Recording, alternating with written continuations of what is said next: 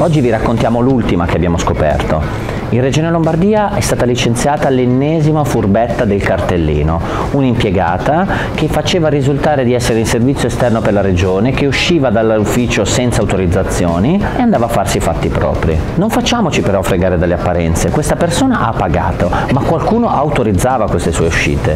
Possibile che la dirigente che ha permesso tutto questo per diverso tempo non debba pagare il conto davanti a una vergogna di questo tipo? Per far pulizia bisogna partire dall'alto e noi vogliamo vogliamo assolutamente recuperare i soldi che Regione Lombardia ha sprecato togliendoli a quei dirigenti incapaci. Mentre non daremo tregua a questo dirigente, perché noi quei soldi li rivogliamo indietro rispetto alla sua inefficienza, guardiamo il lato positivo. L'ennesimo dipendente pubblico onesto, un ennesimo whistleblower che ha denunciato le irregolarità e ha permesso di scoperchiare questo ennesimo scandalo. Continuate a denunciare, il Movimento 5 Stelle è a disposizione, i cittadini su di noi possono contare perché quando ci arriva una denuncia di irregolarità irregolarità ed illecito, noi non guardiamo in faccia a nessuno, denunciamo e correggiamo il tiro.